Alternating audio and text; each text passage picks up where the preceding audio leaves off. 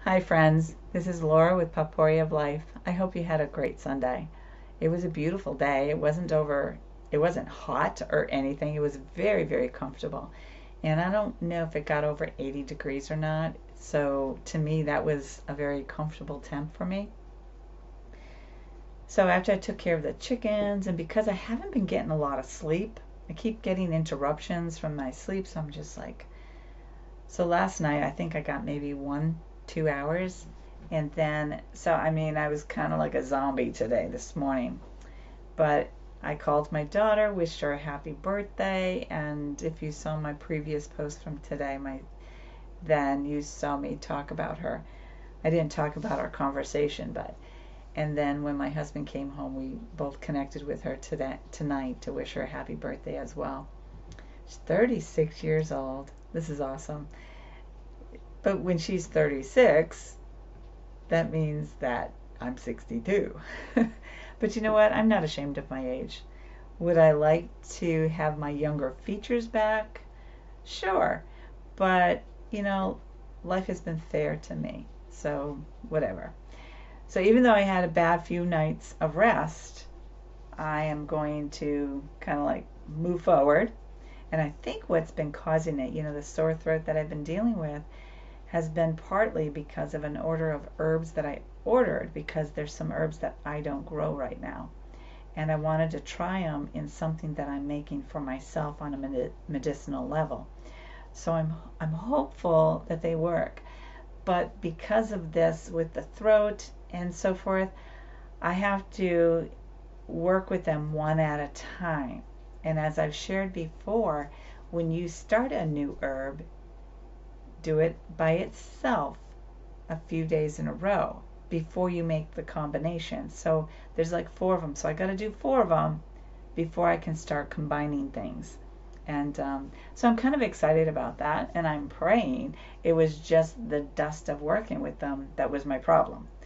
And um, but I always try to be careful when I'm doing that. So after I took a good two hour nap, and I never take a two hour nap, usually at most it's an hour if I have one. I got up. I was still groggy. Went outside, checked in on the chickens. They're fine. And um, so I came in and I started working on a project that I had been wanting to do for a long time. And what it is, is replacement for these. Why do I want to make something to replace tissues? Because you can go to the store and pick up a box for a buck or two. And, and that's true.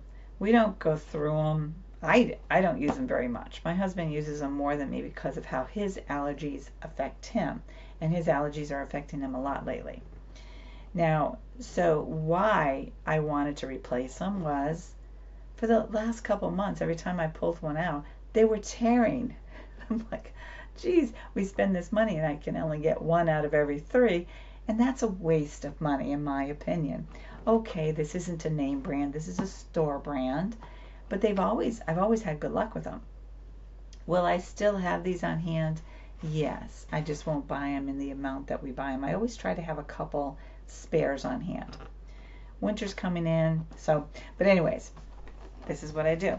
And when we remodeled our bathroom, we made some shelves that were inset into the wall so that the toilet paper roll is in its own section those wipes that I make, those homemade wet wipe type things, those are on their shelf. And then there was a shelf for these and then some bottles of stuff that I use. And and it just keeps things nice, neat, and organized and all that kind of stuff. And these fit back to back in there. And when I used one, I knew that I needed to go and make sure I either had an extra box or go to the store and pick up a spare. So I got tired of these ripping apart. I'd pull them out and they were being wasted. So that kind of put me in motion because I asked my husband, David, would you please make me something to replace those? And he's he was kind of hesitant about it. I said, no, this will actually work out really nice. I promise you. The type of material I want to use will be soft. It will be cotton, and it's not going to fall apart on you like a facial tissue. So I asked him, could you make a box to fit into that space? And he did. So these will be the sides that go right into the shelf unit and this fits in there perfect. And what's going to go in here are the facial tissues. So what I've done is um, you can get these at Walmart. You can get these in different places. These are dish towels, but they're gauze, cotton, 100% cotton dish towels. Let me see if there's a tag on this.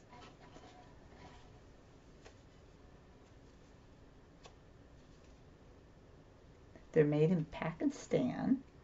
Yeah, it's 100% cotton, which is what I wanted. So they are hemmed all the way around with a half inch hem. Now, I could have taken the time and taken all that out, given me more fabric, but you know what? I said, I'm too tired. I'm going to be lazy here. And so what I did was I took this and I think I put it in thirds and then I just cut now I just cut them. But before I did any of this, I took them out of their package and I threw them all into the washer. I washed them on hot with OxiClean, rinsed them with vinegar, made sure that there was no chemicals left on these these fat these fabric pieces, these cloth pieces. Now, why do I do that? Because there are chemicals. You don't want to take a towel, and these are designed to be towels to do your dishes. You don't want to put that on your dishes when you're drying. I don't. So anytime if I get a new dish towel, that's what I do is I go and I put them through the washer. So and they kind of, this is a gauzy type, but it's a um, it's a tight weave gauze. So I really like this, and so and I have some more that I had purchased, but I was at Walmart and I just kind of said I'm gonna just get a new package specific for this because I was using the other ones for something else. So I got them, and he's kind of like, "What are you getting those for?" I said, "It's a surprise." So these things are about 28 by 28, I think. And so what I did was after they were washed, and by the way, they don't always square up. So if you go like this, corner to corner, this one's doing a good job. Let me find one that doesn't do a good job. They don't always line up because not all fabric is cut the way it should be. Okay, this is going to make a liar out of me. Oh dear. Let's try this one. Well, let me tell you. Okay. Do you see how that does not line up there? So you kind of have to work around when they don't line up. So what I'm doing with these is I'm cutting them down to fit into here and I get about 9 or 10 per. And so, so far, I have made 10 to fit into the box. And what I do is I cut them down and I give them a quarter inch um, hem around.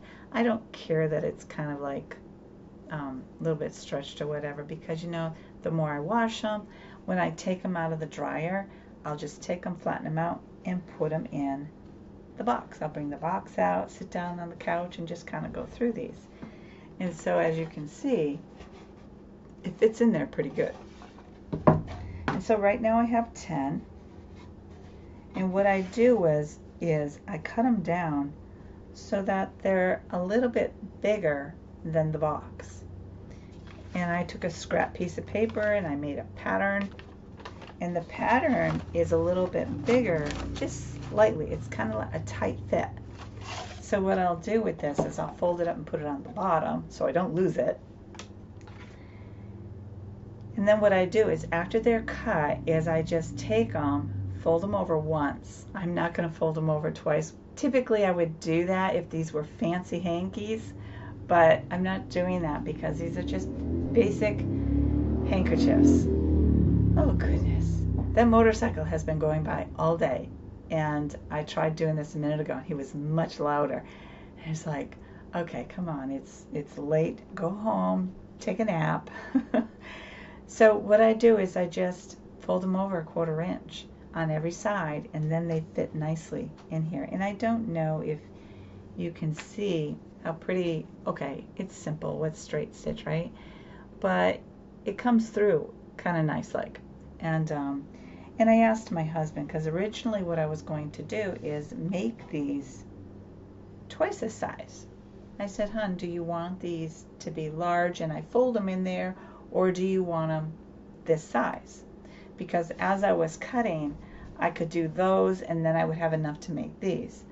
And he looked at and he goes, I'd rather just have the small ones. Mm, okay. Now, in comparison to a tissue, here's my tissue.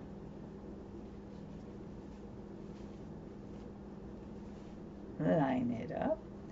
And you can see that it's just short a little bit, so it's not a big deal.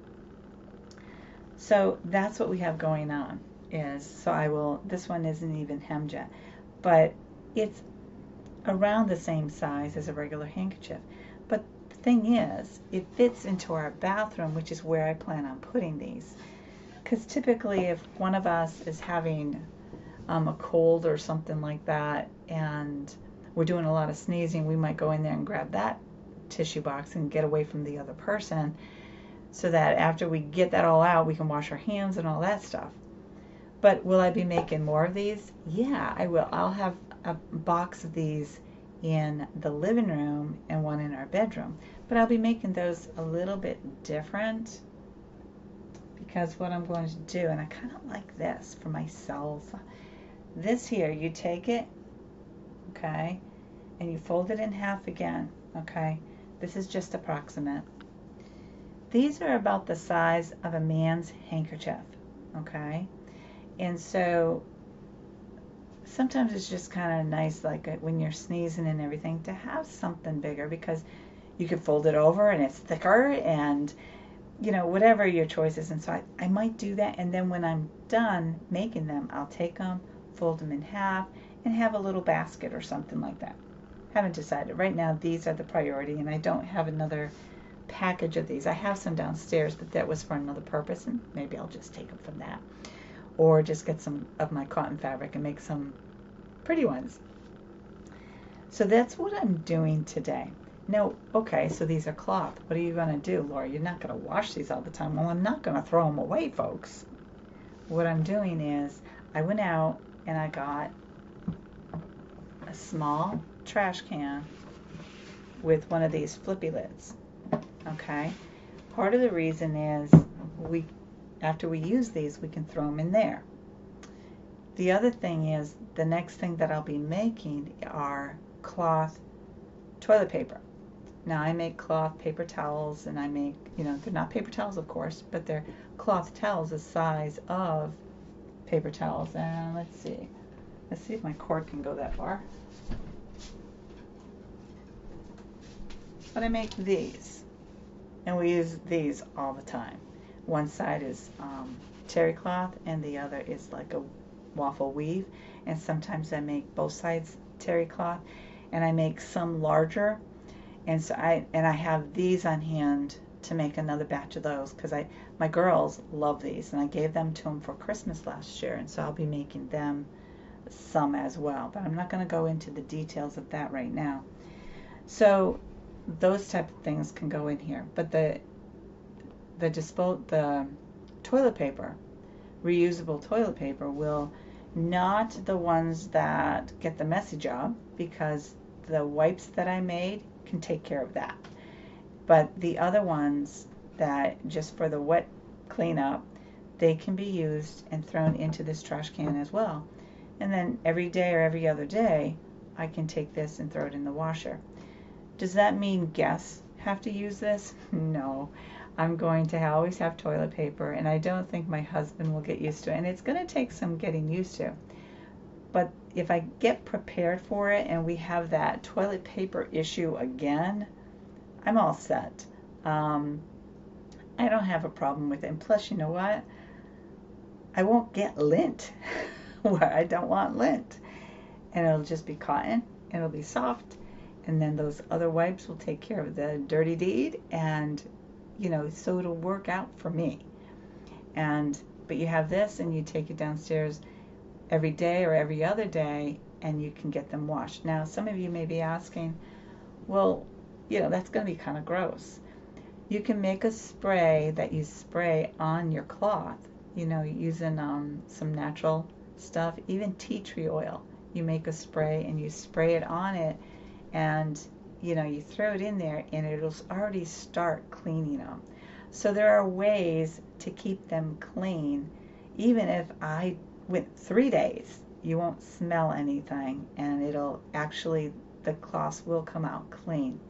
So some of you may find that's kind of disgusting. And you know what? That's okay. You can go that way. If you visit my house, I'll have toilet paper for you. But this is just something of my way of saying, okay, I have some extra cloth. Let me use it up in a manner that will be efficient for us, and I'm okay with it. It doesn't faze me. If my grandkids want to use it, that's fine. If my kids say, Mom, that's disgusting and don't use it, that I don't care.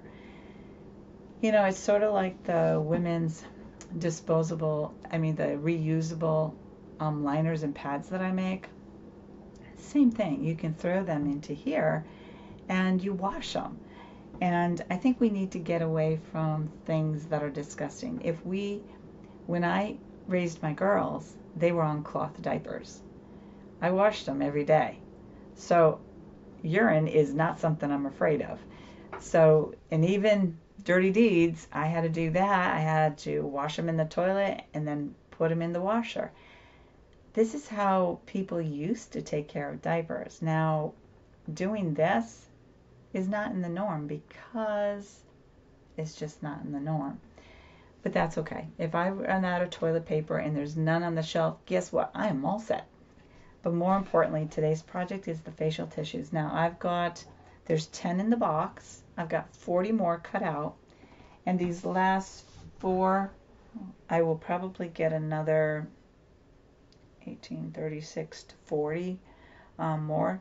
So it won't be 150 in the tissue box, but I don't go through 150 tissues in one day. I mean, your run, your nose has to be running like a train in order to go through a box like that. And does that happen? Sure, it can happen when you're having dealing with a lot of allergies or whatnot. So for me, this is good not everybody will agree with something like this. But you know what? I'm not here to satisfy you. I'm here to share with you an option. And um, and the fabric is soft, 100% cotton. It's it's really really soft. I can use these tissues even though I don't wear makeup. It's rare that I wear makeup. Um, you can do clean, you know, facial cleansers or whatever it is you use. I don't. I just simply wash my face with a washcloth. I don't do anything fancy. And um, so that works. But say I needed to use like an astringent and I could do that. So these will work out if I run out of cotton balls. So I'm just doing something that I think will be very economical. So I think I shared with you that I got this trash bucket and I'm really kind of excited about it. Now another thing that I could do with this, and I like the flip top. Another thing that I could do if I'm using it for um, reusable um, toilet paper type thing or toilet cloths is that I could put, just like I did when um, I had the kids and I was doing diapers, you can always put a solution in there so that they're soaking that up. But I think I've got a plan all set and I think it's going to work out really nice. If it doesn't, you know what? That's fine. But the facial tissue, the hankies that I'm making, they're going to be great. I'll make some for the car. I'll make some. And you know what the best part about this? And that's right, the best part. When my husband has colds and stuff, and I have a tendency, I don't have a shirt like that on me right now. I have a tendency, like, I'll have a long sleeve t shirt on, and I'll just take it and put it in the shirt sleeve. And then later, when you know you're getting dressed for the night and you throw your clothes in the hamper and stuff. And then somebody goes and does laundry. Do you know what we get all throughout the laundry? Tissue. Doing this i'm not going to have lint everywhere. Won't happen. So i'm thinking this is a win-win-win situation. So that's what i'm doing. Can you um, and I, like i said you can make four men's size handkerchiefs out of something like this, cut it in quarters, hem the sides, and you're good to go. Now, I think I'm going to be making some of those. Um, my husband doesn't want them that big, but I'm still going to make some that big because I think he's going to like them. And um, like in the summertime, I noticed that, you know, when you're really hot and you want to wipe something, those are going to be perfect because of the cotton. If you go back to when handkerchiefs were in style, they when I was a little girl, I had some. My grand my granny had given me some, but they were too special to use. I just put them in my little purse when I went to church, and if I ever needed a tissue, I had a hanky in my purse, and then we would just wash them if I used them. If you cried, you had a hanky. So maybe it's just the whole old soul in me that kind of has that romantic, old fashioned view on things. I'm okay with that. I like that part of me. So I could ramble apparently about facial tissues and facial hankies and stuff, but that's what I'm doing. So this is my first project for this, and I have some outside this type of stuff. I have some other things that I'm going to be doing that I'm kind of looking forward to, and they're going to be for me. The best part about retiring is like I can finally do some things that are for me, that bring me pleasure, some things that I've been wanting to do, and these things I've been wanting to do for three or four months and um, and I think that this will bring me pleasure. Once it's done, it's done. But I have some other projects that I'm looking forward to doing. So I hope you stay tuned. I hope this was something of an idea. I know that other people did this when there was a shortage of toilet paper. They were doing this, but I don't know how many people have continued this idea. It was something that I wanted to do, but I already had a stash of toilet paper, so I wasn't, no, I didn't go out and hoard it from everybody. What I always did was I would buy two large packages when they were on sale, and then when I got down, I would go and buy two more at the next sale. Well, we don't get those kind of sales anymore. So I do still buy them, but I only buy one because just to have, so we never run out. But now, um, once I get the disposable toilet paper, we shouldn't be going through it as much. And facial tissues, we were um, not going through too bad. So I don't have a problem washing things. So, and I like the idea of no lint in my dryer. So, anyways, I rambled. I'm tired, so I think that's why I rambled. Or, no, I always ramble. Anyways, I hope you had a beautiful day. I hope that your night is restful and that you get plenty of rest. I plan on plenty of rest tonight. And may God bless you and provide blessings to you and yours. Good night.